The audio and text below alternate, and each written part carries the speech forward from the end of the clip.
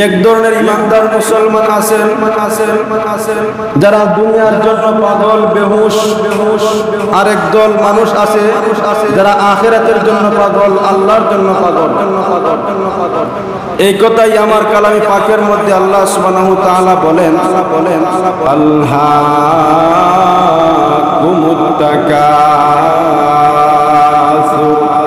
হাত্তা সুরতুল আল্লাহ সুবহানাহু তাআলা বলে, দুনিয়ার সম্পদের প্রাচুর্যের প্রতিযোগিতা তোমাকে গাফেল করে দিয়েছে। দুনিয়ার সম্পদের লোভে তুমি দুনিয়ার সম্পদের প্রতিযোগিতা করতে যাইয়া তুমি গাফেল হয়ে গেছো। দুনিয়ার সম্পদের দিকে তাকাইয়া আল্লাহ তাআলাকে তুমি স্মরণ করতে পারো না। দুনিয়ার ব্যবসা বাণিজ্যের দিকে তাকাইয়া নামাজে তুমি আসতে পারো না।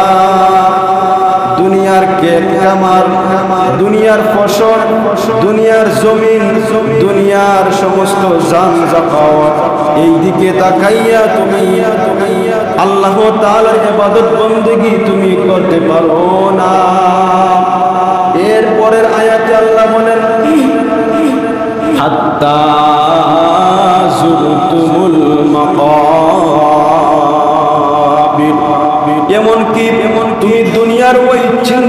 চেতনা করতে করতে এমন একটা সময় তোমার সামনে উপস্থিত হয়ে যায়। মালাকুল মৌত তোমার সামনে এসে উপস্থিত হয়ে যায়। কবর তোমার সামনে চলে আসে। হাত্তা মাকাবির।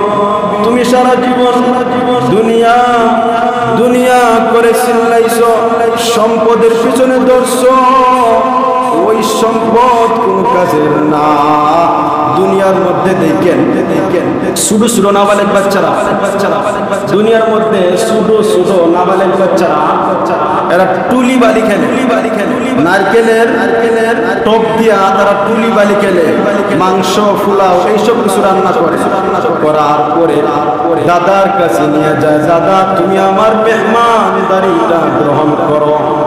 দাদা একটু দাদা একটু দাদা একটু দাদা একটু। একটু না খাইয়েই বলতেছে দারুণ হয়েছে, অনেক মজা হয়েছে। হয়েছে আচ্ছা বলেন তো, এই যে এই যে দাদা, এই বালু আর আর ঘাস পাতা একটু পর করে যে তার নাতিকে জানাইলো অনেক স্বাদ হয়েছে অনেক মজা হয়েছে। মজা বাস্তবে কি তার পেট পড়ছে? বাস্তবে কি তার পেট পড়ছে? বাস্তবে কি তার পেট পড়ছে পঞ্চায়েত? তার পেট পড়ে নাই পড়ে নাই পড়ে নাই। কবি এই দিকে ইঙ্গিত দিয়া বলে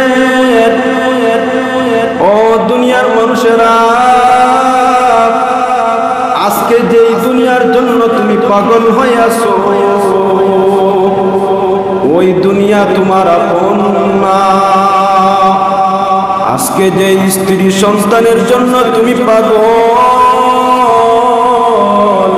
সেই স্ত্রীর সন্তান কবরের মধ্যে যাইয়া তোমার উত্তর দিবে না, প্রশ্নের জবাব দিবে না আজকে যদি প্রশ্ন করি প্রশ্ন করি, ও আমার মুসল্লি, নামাজে কিসের জন্য আসেন না?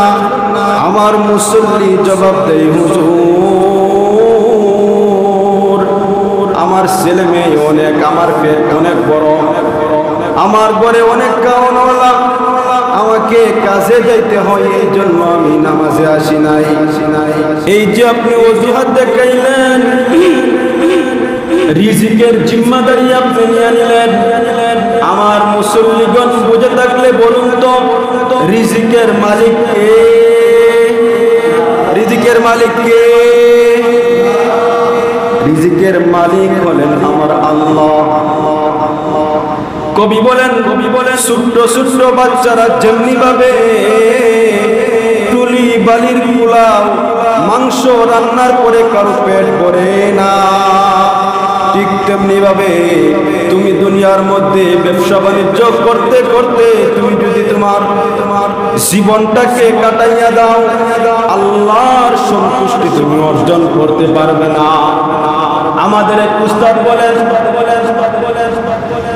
যে তুমি দুনিয়াতে সব পাইছো জায়গা পাইছো, সম্পত্তি পাইছো, স্ত্রী পাইছো, সন্তান পাইছো, সব কিছু আছে।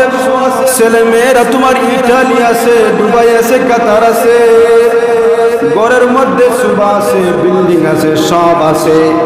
কিন্তু তুমি আল্লাহকে পাও না। তবে তুমি কিছুই পাও নাই। তুমি হলে পথের বিকারী কবি আবার বলেন, তুমি দুনিয়ার মধ্যে সম্পত্তি পাও নাই। দুনিয়ার স্ত্রী পাও নাই, দুনিয়ার সন্তান পাও নাই।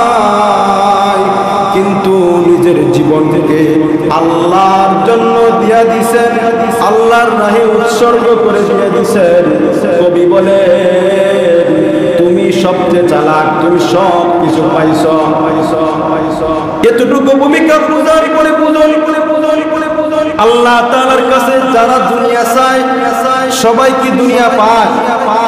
সবাই দুনিয়া পায় না বলছেন সময় তো আমরা উঠতে করে লাগছি যে আমি কীভাবে দুনিয়া আমি হুজুর কীভাবে এই মঞ্চ থেকে টাকা পয়সা কীভাবে মুসলিমদের নিয়ে আমি কীভাবে টাকা হইতাম চাই? এটা আমার নিয়ত, ব্যবসায়িকের নিয়ত। আমি কীভাবে ব্যবসা বাণিজ্য করিয়া বড় ধনগুলো হইতে পারি?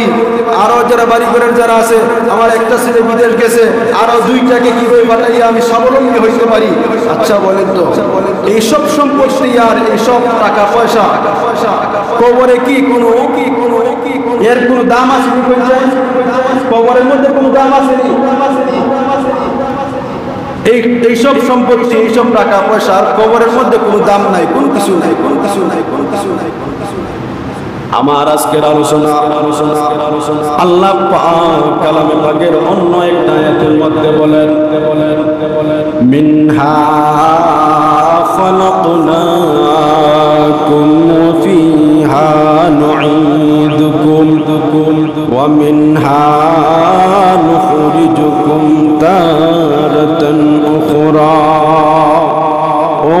বান্দারে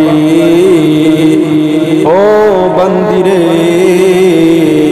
আমি তোমারে মাটি থেকে বানাইলাম, আবার আমি তোমাকে মাটির উপরে রাখলাম, আবার ওই মাটির ভিতরে আমি তোমাকে আবার নিয়ে যাব। আবার ওই মাটি থেকে আমি তোমাকে দাঁড় করাইব। আমার মুসল্লিগণ, এই দুনিয়াতে দুই ভাগে মানুষ বিভক্ত আছে।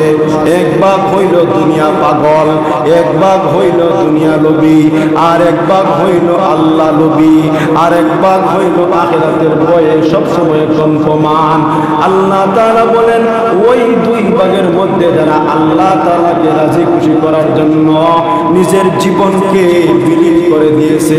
তারাই সাকসেসফুল তারাই এই দুনিয়াতে শান্তি কিছুটা পাইতে পারে। আর পরজগতে আল্লাহ তাআলা ওই ব্যক্তির জন্য জান্নাত রেখে দিয়েছেন। বলেন সুবহানাল্লাহ। শুনুন, আমার পর্দা নিশিন বোনেরা।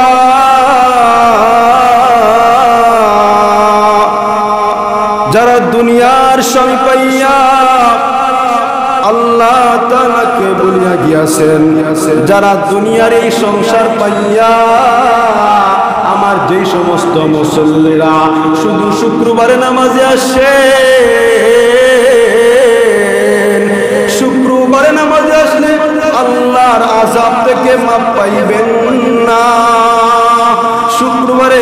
সেজদা দিলে আল্লাহ তালা খুশি হইবেন না। বরংস আল্লাহ তালাকে খুশি করতে হলে দুনিয়ার সমস্ত ঝামেলা পালাইয়া মুয়াজ্জিন যখন আজান দে